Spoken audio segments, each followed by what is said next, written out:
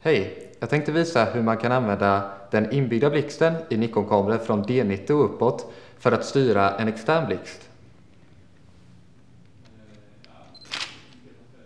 För att styra blixten trådlöst så får man först ta av den från kameran och sätta den i ja, förslagsvis den medföljande blixtskon och sedan sätta den i remote-läge.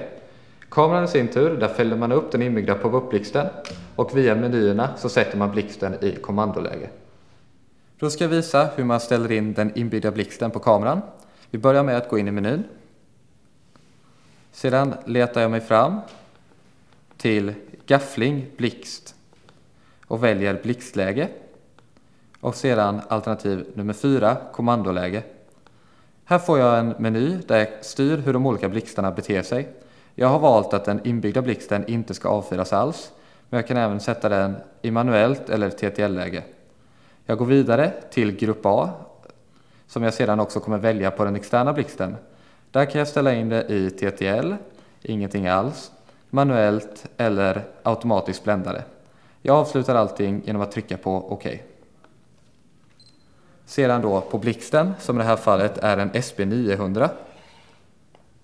Så vrider jag på den med vredet och vrider ända upp till remote-läget.